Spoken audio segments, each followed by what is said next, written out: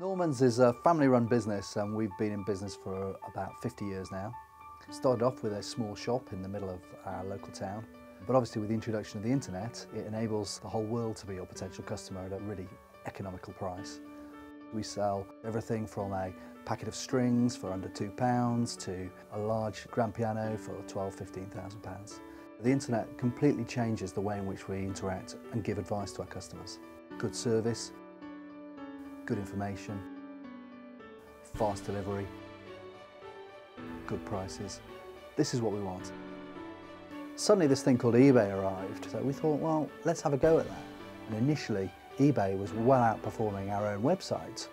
Then we got to that point where we realised that we'd sort of scaled it up such that it was then becoming impossible to do any more until we could somehow automate the process that's when Channel Advisor really came onto our horizon. I remember reading a book about top-selling eBay traders and how they did their business.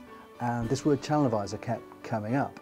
It enables us to sort of literally plug in different channels like eBay and Amazon into what we do without being real experts in the mechanisms of those markets.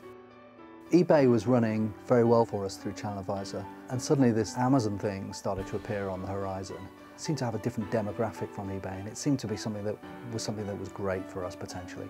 Orders come in the same way, we already have a process in place to deal with the orders, so we could just literally switch on another marketplace and shebang, orders started arriving. By plugging in Amazon, um, France and Germany, we were quickly able to start selling um, consumer items to those customers very quickly.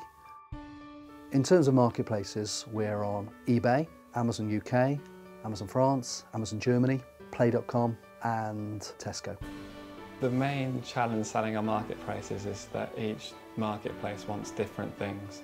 So I find that Channel Advisor helps me in terms of that I can set up an inventory that has customized fields in each product and then I can send the bits that are important to different marketplaces.